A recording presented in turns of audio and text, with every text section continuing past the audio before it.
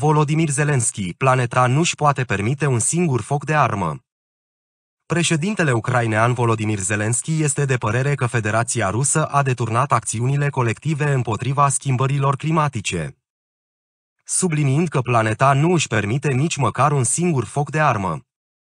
Președintele ucrainean Volodymyr Zelensky a declarat, în cadrul unui mesaj video la conferința COP27, că planeta nu își poate permite un singur foc de armă.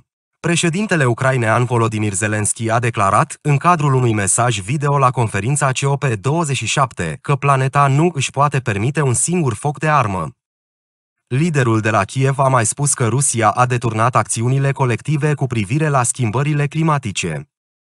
Există cei pentru care schimbarea climatică este numai retorcă, marketing ei sunt cei care împiedică realizarea obiectivelor climatice, a fost mesajul președintelui ucrainean la finalul celor două zile ale sumitului care a avut loc în Egipt. Președintele Volodymyr Zelensky a mai spus sunt cei care, în birourile lor, își bat joc de cei care se luptă pentru a salva viața pe planetă, susținând în același timp în public acțiunea pentru natură.